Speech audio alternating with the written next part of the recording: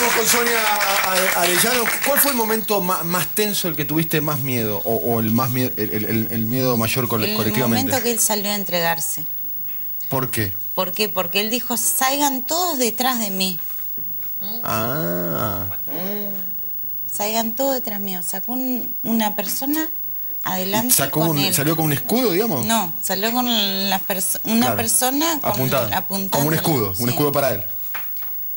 Y dijo, todos me siguen a mí. Sí. Salimos todos así y entra el grupo Geo gritando, Sí. una desesperación, El- el grupo- llanto, no sabe, a tirarse todo Ah, el Hay, hay un protocolo de- de- del grupo Halcón eh, que es también un poco controlar también a los rehenes en primer momento. Sí, ¿Lo además hicieron? que no se sabía exactamente Claro. si había algún otro delincuente más o era el sol. ¿Te pasó eso, digamos? El grupo, el grupo Geo te, te obligó a tirarte al piso. Tírense en todo Todos al piso. piso, te controlaron por si tenías armas. O sea, a priori era No, como. no, un- no, no, no, no, nos tocaron. Los únicos que nos dijeron tírense al María, una pregunta para María.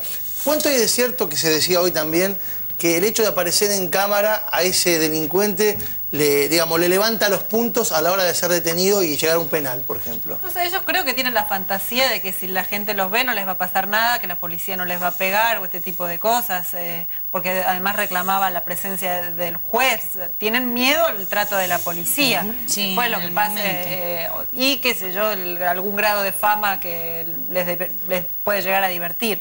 Lo cierto es que en, en- en la negociación es con la policía, nunca es con la justicia. Si bien el fiscal dirige el operativo, el negociador, insisto, es una persona especializada de la policía. policía. ¿Y fue buena la negociación, digamos? Sa- Salió exitosa. Salió digamos. exitoso, no Sa- hay heridos, fueron liberando de a poco a los rehenes. Pidió pizza porque siempre es como el plato Sí. típico de la toma de rehenes, ¿no? La Pidió pizza. pizza, Se podían pedir Sí, otra ¿eh? cosa. pidió ¿Pizza? gaseosa. Pidió gaseosa. Pizza, siempre se cambia Primero por dijo pollo. ¿Qué? Primero pidió un pollo. Pollo. ¿Uno solo para Uno 40? solo ¿no? para él. Vale. Eh, Después pero- parece que la pensó, dijo, no, quiero pizza. Bien. Para todos. Ahora, ¿quemará bien para un billete? Un, eh, un- un billete de ¿Uno 100 pesos. cuánto? No sé, yo No. eso no Le sé dio nada. bajón y pidió 20. Yo no tengo ni idea. No sé cómo quema. bajón y pidió 20 No sé qué me digo No sé qué Si está quemando, si quema bien un billete que, Para- que para tiene en el interior picadura de Igual marihuana. en roca. No sé, vamos a preguntarle. Le vamos a preguntar al chileno cuando salga, dentro de 10 años. No es por desilu- tinta, todo se reto. no es por- Es una vez. no es por desilusionar a la señora, pero me parece que el pibe no se reía por el chiste de la mujer. ¿eh? Claro,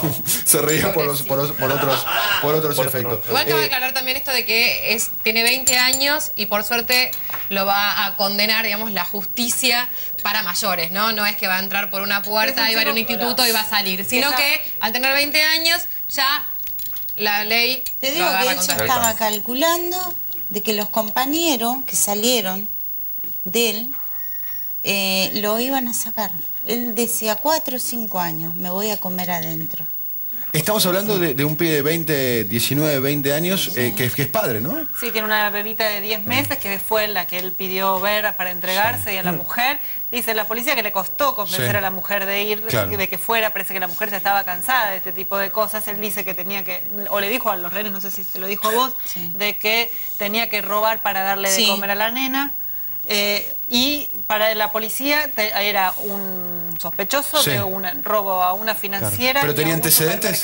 Sí. Tenía y, antecedentes. y una orden de captura por Sí. estos dos robos. Eh, hay que decir que el banco quedaba a 20 metros o 50 metros, 20, 50 metros de la departamental. O sea, fueron a robar casi en la puerta de la comisaría, lo cual habría que meterlos presos por boludo, digamos, otras cosas, ¿no? Sonia, ¿en, en algún momento dijo que iba a delatar a sus compañeros o en realidad no estaba enojado con ellos No, que lo no estaba abandonaron? enojado. ¿Se, se bancó que Se lo bancó, dejaran Sí, y pensaba en realidad que lo iban a ayudar? sí. De hecho, los compañeros escaparon con dinero, ¿no? Y los compañeros lo agarra, agarraron Afuera, no sabes la cantidad de plata que había tirada en la calle. Billetes de 100, de 50. de Hay que ir a buscar todo. para armar, ¿eh? No sé si fueron los que salieron, que se les cayó o no sé qué, pero había billetes. ¿Estamos hablando de una banda experta, María Elena, no? Es o una vamos hablando de una bandita. rara, sí, una banda rara. La verdad que ir a robar a Sí. 50 metros de una comisaría Sí. viendo tantos No, no. bancos, no, no tiene mucha Igual lógica. robar, en, en la escala de los ladrones, eh, el caudal, el, el camión de caudales y el banco, lo máximo. Sí, sí, Es por eso máximo. es extraño. Si sale bien, ¿no? sí, tan Te comento lo que él decía Sí. ahí adentro, que él al banco lo tenía bien estudiado Sí. ya.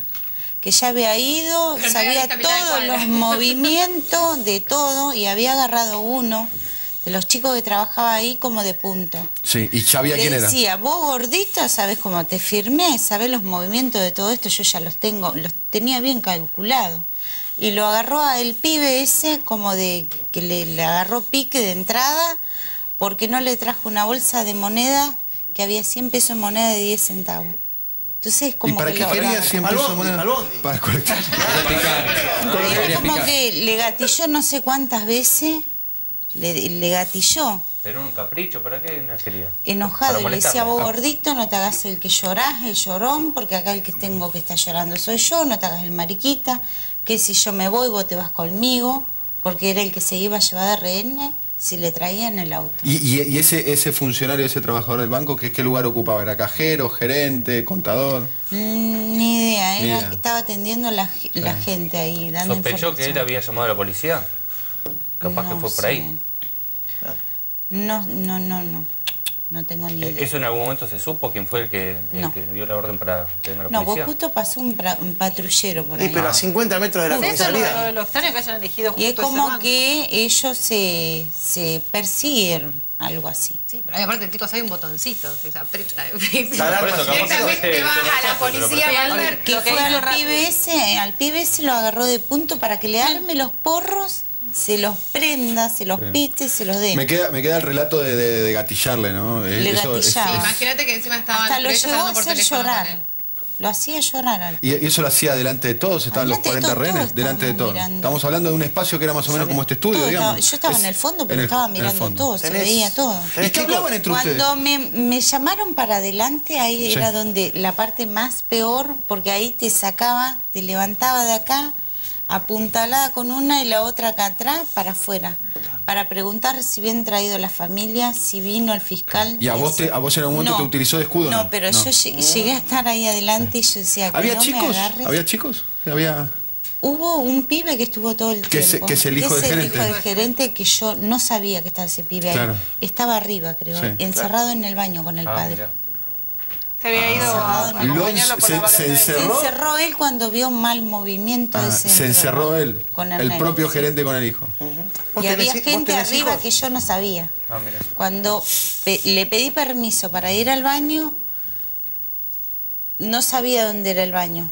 Dijeron el baño está arriba. Hago un paso más así, había, había gente Tirada en los pasillos. en, en las oficinas arriba. ¿Vos tenés hijos? ¿Tenés Tres, familia? tres. ¿Y en ese momento qué se te cruzó por acá? Mira, decía, mi hija quedó en la puerta del banco esperándome, No. estuvo presenciando todo el tiroteo. Y yo decía, ella no sabe ni cómo estoy yo. Mm, Yo estaba preocupada, porque yo dije, espero que reaccione y salga de ahí. Y ella no sabía cómo estaba yo adentro del banco. Porque adelante de ella tirotearon y todo. Dice que ella quedó parada así. Era como que no cayó en el momento. Y después sí. ¿Y cuando te Salió. reencontraste con tu hija, cómo fue? Mira, yo te digo que hasta ahora estoy mal. Sí. Porque Estás es todavía en un poquito de- Choqueada. Sí. ¿Terminamos, Presta? ¿Ya está? Sí. Porque me estás haciendo así que termina, ¿no? ¿Está bien? ¿O querés que vayamos a un lado?